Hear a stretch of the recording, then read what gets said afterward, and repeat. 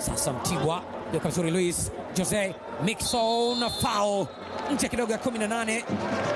Eneo gumu kuvumilia maumivu kwa Mtibwa ni swala la kuuma meno tu. Tachi nzuri ya Clatous Chota ikamkuta kiungo mgumu wa pembeni wa Simba Luis Mixon. Tuone kama ni nani baina yao. Rally amepishana nao Chama